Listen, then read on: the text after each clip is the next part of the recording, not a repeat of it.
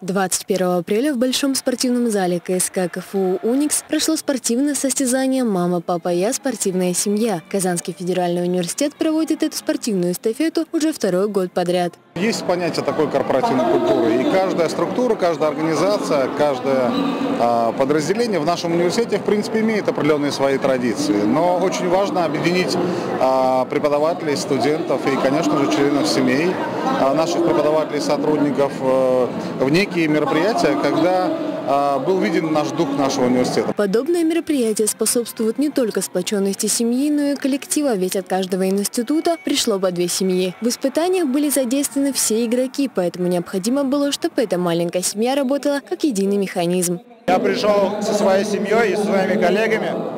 Эмоции положительные.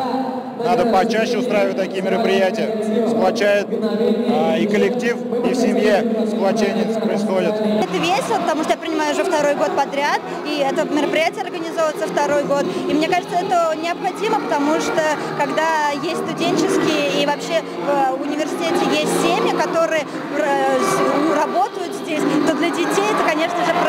семьи праздник. В результате первое место заняла команда общеуниверситетской кафедры физического воспитания и спорта, второе – студенческий городок и третье место у команды Института фундаментальной медицины и биологии КФУ. Остальные команды также были награждены грамотами и сладкими подарками за активную игру.